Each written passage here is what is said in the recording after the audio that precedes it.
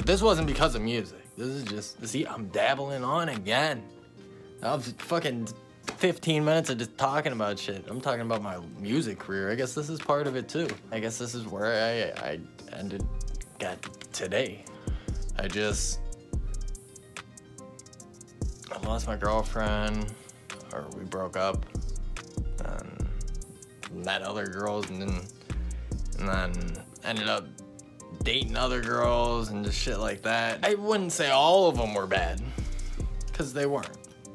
Um, couple very successful and a couple that went downhill, but then came the fuck back up, you know, like that's mad respect, you know, like I'm grateful for that, you know, and then I have had some that kind of still not doing right. Shout out to all my ex-girlfriends that, you know, were in a hard place at a time and you know, made something out of it and just really did good and just changed, you know, or even the ones that were good that just kept doing good. I'm proud of you, you know, good shit. But it's like, uh, so that happened, then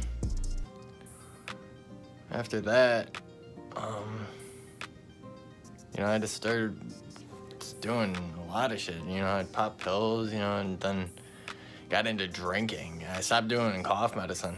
So from about 19 to 22, I did a bunch of random drugs and just nonsense, just fooling around with a bunch of girls and just fucking around, fucking my life up. Didn't stop there, you know, of course, you know, I just added on to it when I got here. You know, I just mm, ugh, fucking live my life. I could say one thing, I've, God I've never overdosed on any substances. I've never, you know, I'm pretty sure I probably needed my stomach pumped a couple times, but never did. And then, you know, just shit like that. And I mean, other people have been through hella worse. So I'm not saying I'm some fucking major drug, you know, I was doing like hard shit all the time, even though I kind of was, but I wasn't. I don't know, I just I knew when to stop. I don't know, I just knew, all right, I'm done with that. You know, I'd be so fucked up that I would even realize, nah, I'm good. Like, but alcohol, no, I didn't keep drinking. But yeah, so about till 22, you know, just partying, you know, getting lit all the time, making music. Then I moved back here. So we moved back, um, pretty much just start all over, you know, and just now I'm 22 living down here and I'm thinking, oh, I could see my old friends again. I could, you know, hang out with them and, you know, it did work at first.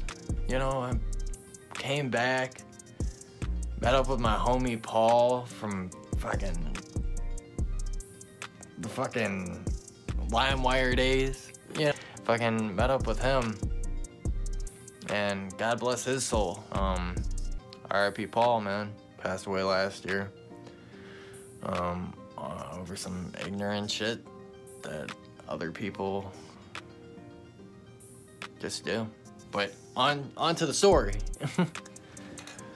uh, met up with him again. We started chilling. We were doing shit, man. We doing shrooms, fucking hanging out. You know, it was fun again. It was, you know, it was like the bad old days. You know, drinking, doing shrooms.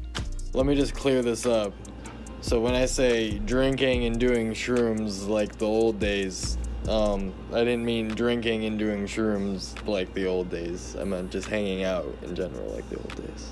Thought I'd clear that up. Um, my boy JD came down from Chicago. I meet my boy JD while I'm living in Illinois still. This is about 21, 20, 21-ish. And we become real cool. And uh, he just, you know, was, you know, he wanted to rap and stuff like that too. So we started rapping and, you know, shit like that. And ended up being, you know, really cool. And fucking I moved away. And then I had him come down. You know, this is how fucked up my life, you know, my mind was. I was just like, yeah, just come move down here. You know, I just, I had no plan. I was just like, yeah, not even tell my parents, fucking uh, ignorant, bro. I mean, it, and then I found a new place and moved there and just left him at my fucking parents' house. So stupid, bro. Like, what the fuck was wrong with me? But I'm growing, you know, and I grew past that. So, like shit for doing it, and I appreciate um, him even still talking to me after that, and just it, it's we always have something because he met met Paul when he was down here as well, and that's the only person that I have connection to that can actually just be like, yeah, I know, I know how he is. Like, I mean, I got other people too, like people I used to live by that I talked to, but we hung out again. You know, like he he understood Paul, you know, and he he heard our stories from the past. So I'm grateful for that. So meet Paul when I'm down here with JD. It's cool.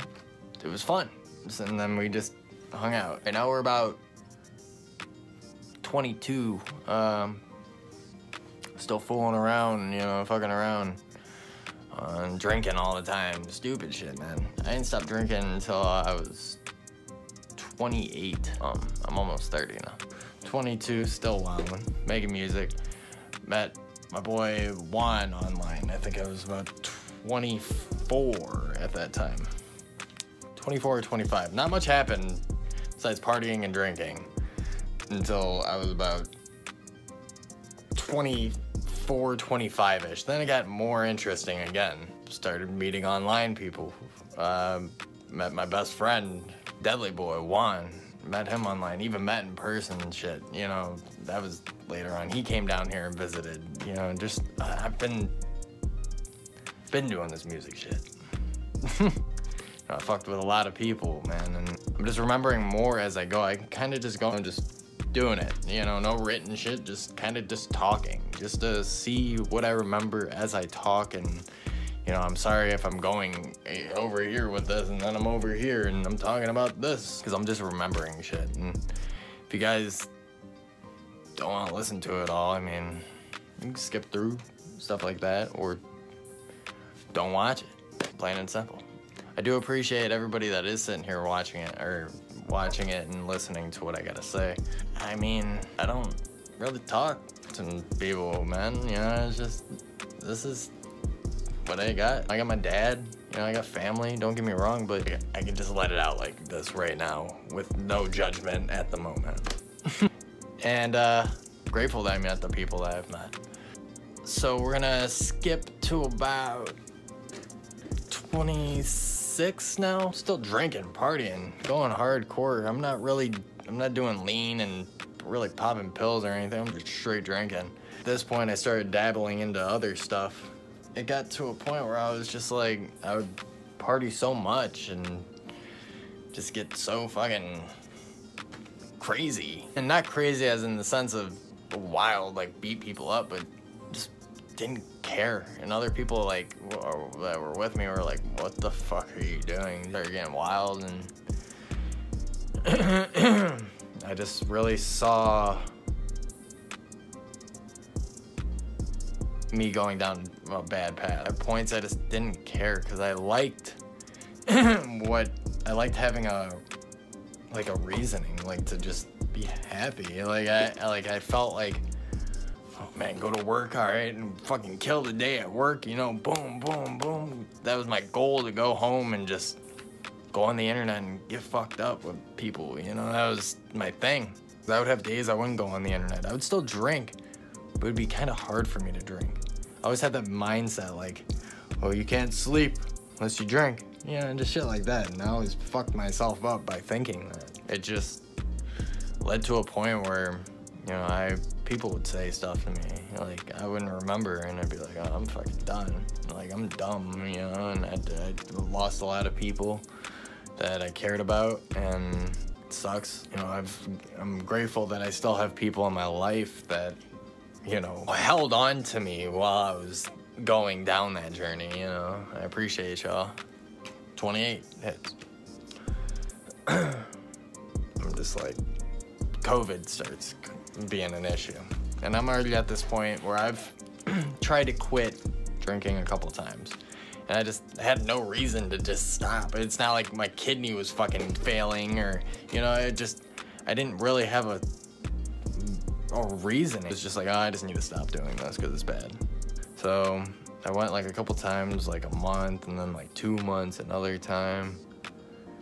And then it would never be like, when I start again, I'd just drink every once in a while. I'd, I'd go straight back to just boom, boom, boom. So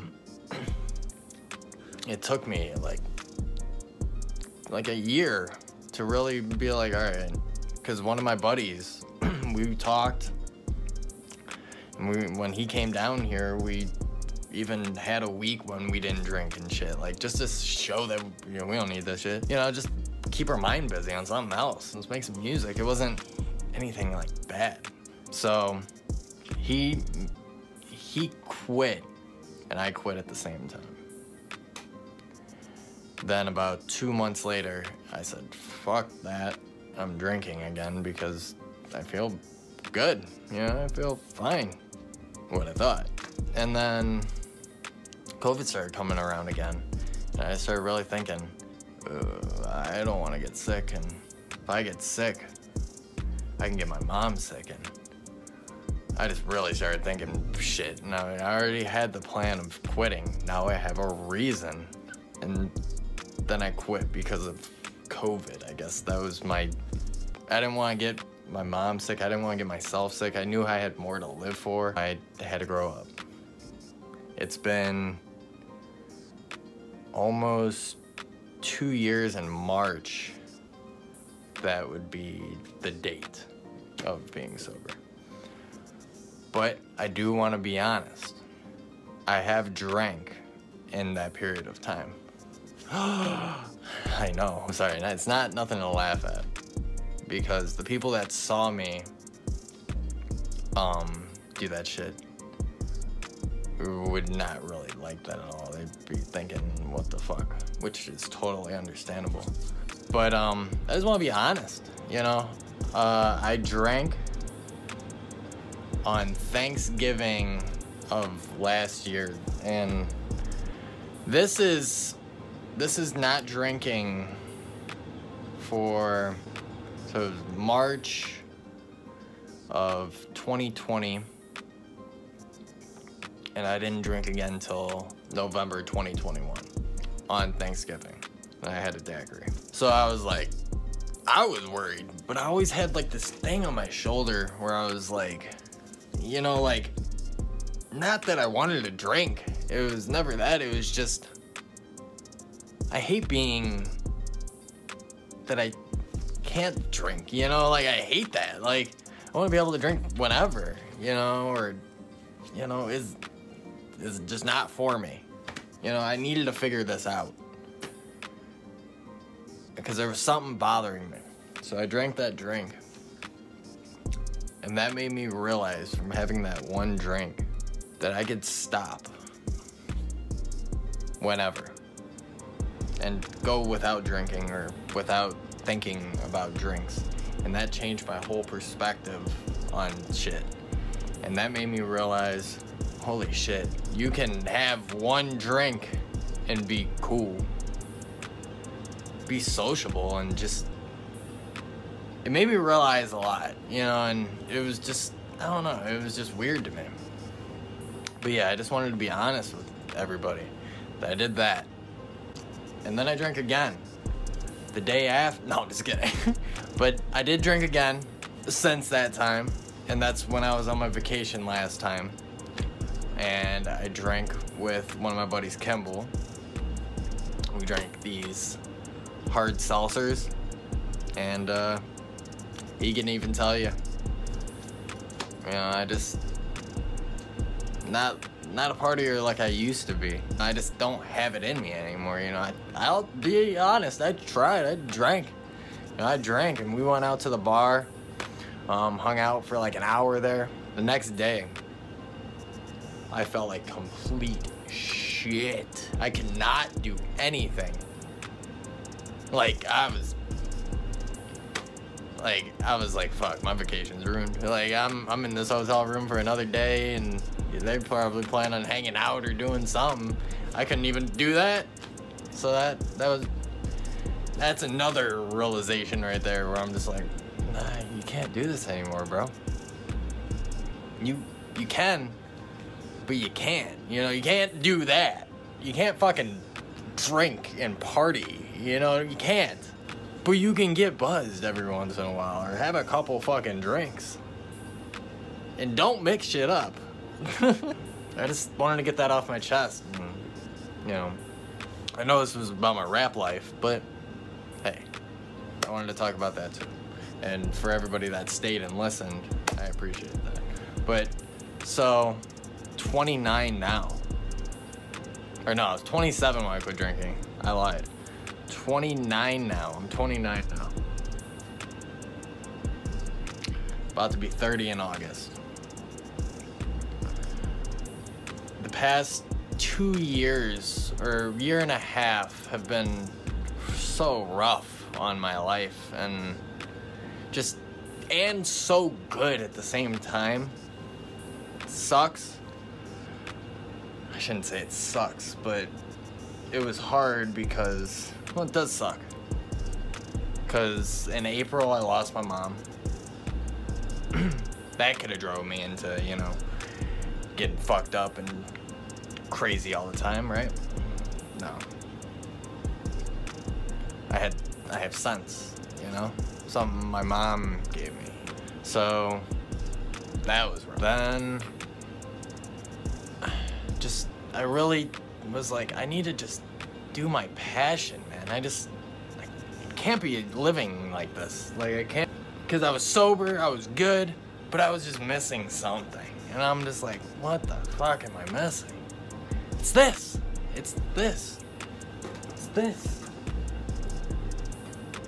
I need to make music. I need to entertain. I need to be an influencer. I need to do that. So I'm so grateful that this year I've been able to quit my nine to five job, company jobs, to maintain my own work. I still do DoorDash, and I'm not gonna lie, probably pays a good amount of my bills most of the time.